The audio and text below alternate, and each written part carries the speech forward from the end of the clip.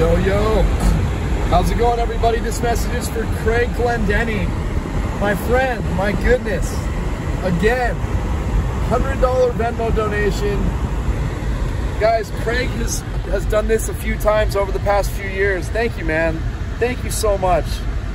I'm just, I'm, I'm so, so unbelievably grateful, man. Thank you. And I can't believe that I, I, I, am shocked. I just can't can't believe it. Like I really cannot believe it. Thank you for the support. Thank you for showing me so much love, man. Um, yeah, bro. Um, and, and, and as I said in response on the Venmo, sorry for for talking a little bit of smack on Moonridge. It wasn't bad smack, just that it's super dangerous to, to get up to Upper Moonridge. And uh, yeah, so my bad, bro. But thank you so much, Craig. Um, you're super, super beyond generous. As I said, I'm very, very thankful for you, dude. Um, I, I love doing what I do.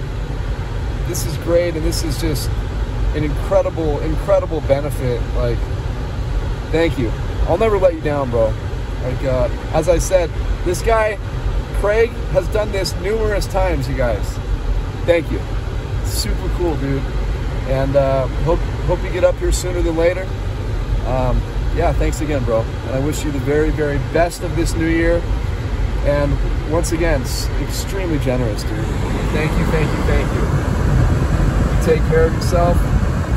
And right now, it is 28 degrees on January 10th. Once again, this message for Craig Glendenning. Thank you so much again, brother. You are the man.